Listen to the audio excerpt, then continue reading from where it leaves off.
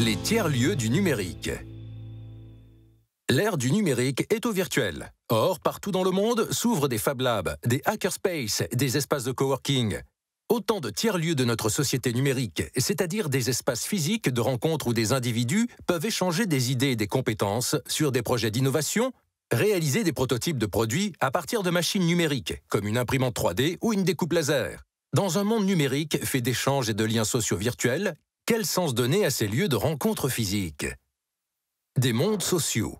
Initialement défini par Ray Oldenburg, professeur de sociologie urbaine, le concept de tiers-lieu désigne des lieux distincts du lieu d'habitation et du lieu de travail habituel. C'est-à-dire que les individus qui les fréquentent n'ont pas obligation de s'y rendre, et lorsqu'ils s'y trouvent, ils sont détachés des systèmes de normes de leur vie privée ou professionnelle.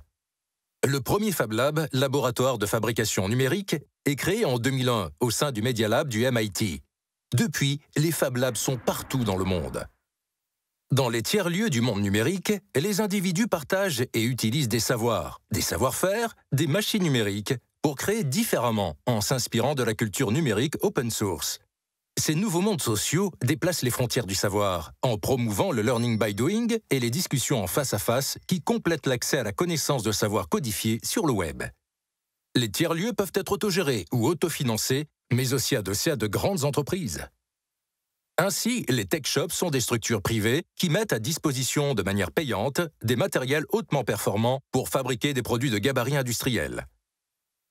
Ils s'adressent tout particulièrement au monde des startups et des grandes entreprises, Ford a noué un partenariat avec TechShop afin que ses ingénieurs viennent y développer des idées qui n'auraient pas leur place dans les laboratoires plus traditionnels de l'entreprise.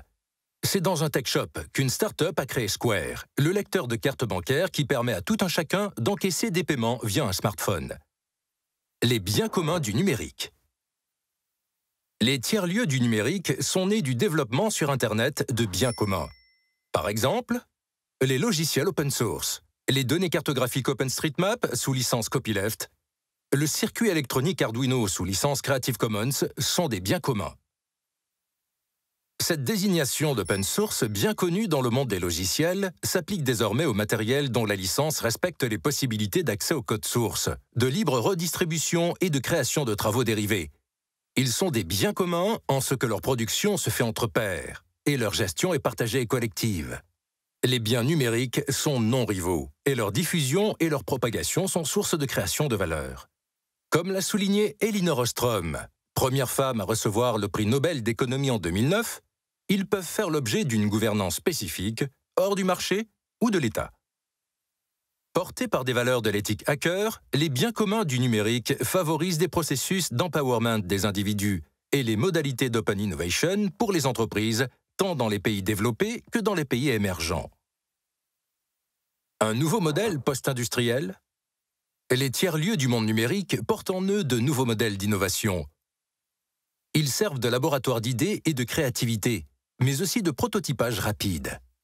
Les makers sont en effet en train d'industrialiser l'esprit DIY, Do It Yourself, ou DIWO, Do It With Others, en un mouvement d'innovation artisanale, responsable, high-tech et low-cost. Ils permettent un modèle d'innovation frugal, comme avec la Tata Nano, la voiture la moins chère du monde. La couveuse développée par des étudiants de Stanford qui coûte 1% du prix d'une couveuse traditionnelle. Ou des innovations ascendantes pouvant trouver des financements par le crowdfunding. Comment passer du prototype à la fabrication de plusieurs unités? D'aucuns évoquent le modèle de l'usine éphémère, d'autres d'une production manufacturière comme un service cloud où les usines du monde entier s'ouvrent, proposant des fabrications à la demande via le web à quiconque dispose d'un modèle numérique et d'une carte de crédit. Enfin, d'autres parlent d'un système de production post-industriel dans lequel les biens seraient produits localement, tandis que les savoirs s'échangeraient librement à l'échelle du globe. La vente en ligne d'Amazon à eBay ou Alibaba a révélé la pertinence des stratégies de longue traîne.